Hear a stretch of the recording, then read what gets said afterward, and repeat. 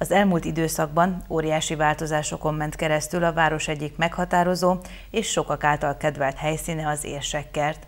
De séta közben bizonyára kevesen tudják, hogy sok esetben több mint száz éves növények mellett haladnak el. Az érdekessége az, hogy ezek a fák is szintén elérik a 100-110 éves kort. Lehet látni, hogy jó néhány beteg van köztük, illetve azt is lehet látni, hogy ezt folyamatosan pótolták. Egyik vastagabb, másik vékonyabb.